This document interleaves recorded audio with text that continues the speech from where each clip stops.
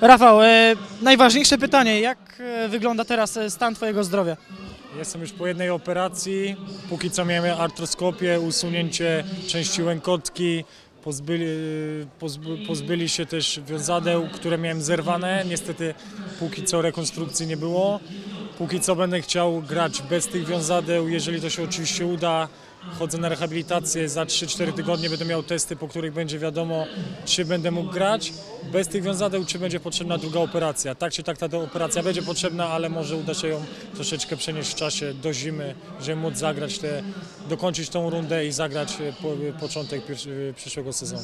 Bo gdy ta informacja o Twoim urazie się pojawiła, to wiele osób się dziwiło, że w ogóle z takim urazem można grać. Jak, jak to wygląda? Wyjaśnij nam. Mięśnie muszą być na tyle mocne, żeby utrzymać właśnie tą nogę bez tych wiązadeł. To jest jedno z ważniejszych wiązadeł, ale mamy jeszcze wiązadła boczne i tylne i dlatego jeżeli czworogłowy, dwugłowy i tak samo niżej mięśnie są na tyle mocne, to naprawdę da radę. Przykładem jest e, Łukasz Zagdański także. Przyznasz szczerze, że te okoliczności Twojej kontuzji takie trochę kuriozalne. Strzelasz bramkę w doliczonym czasie gry, która może być bramką zwycięską. Radość, niefortunnie gdzieś tam upadłeś. Jak to wyglądało? Odbiłem się od płotu i źle po prostu stanąłem na nogę. Wypro- yy, wydaje mi się, że po prostu kolano nie wytrzymało. Zawsze miałem jakiś tam problem właśnie z tą nogą, ze stabilizacją.